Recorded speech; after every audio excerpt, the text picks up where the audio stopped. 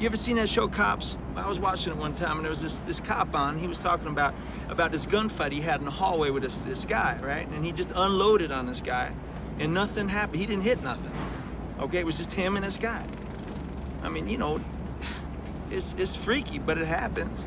Look, you want to play blind man, go walk with a shepherd. But me, my eyes are wide fucking open. What the fuck does that mean? I mean, that's it for me. From here on in, you can consider my ass retired. Jesus Christ. Don't blaspheme. God damn it, I said don't do that. Hey, you know, fuck, you're fucking freaking out on us. Look, I'm telling Marcellus today. I'm through. But why don't you tell him at the same time why? Don't worry, I will. Yeah, and I bet you ten thousand dollars he laughs his ass off. I don't give a damn if he does.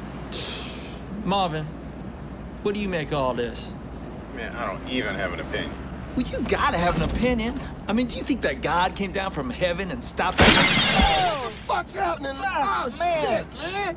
Oh man, I shot Marvin in the face. Why the fuck you do Oh, that? I didn't mean to do it. It was an accident. Oh, man, I seen some crazy ass shit in my time, but this... Chill out, man. I told you it was an accident. You probably you went over a bump or Hey, the car ain't hit no motherfucking bump. Hey, look, man. I didn't. I didn't mean to shoot the son of a bitch. The gun went off. I don't know why. Well, look at this fucking mess, man. We're on a city street in broad daylight here. Believe it, man. Well, believe it now, motherfucker. We gotta get this car off the road. You know, cops tend to notice shit like you're driving a Just car take against to fucking a, blood. Just take it to a friendly place. That's all. This is the valley, Vincent. Marcellus ain't got no friendly Well, places in the this ain't valley. my fucking town, man. Shit! What you doing? I'm calling my partner in Toluca Lake. Where's Toluca Lake? It's just over the hill here, over by Burbank Studios.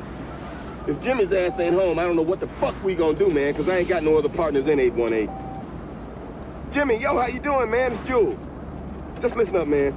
Me and my homeboy in some serious fucking shit, man. We're in a car, we gotta get off the road pronto. I need to use your garage for a couple hours.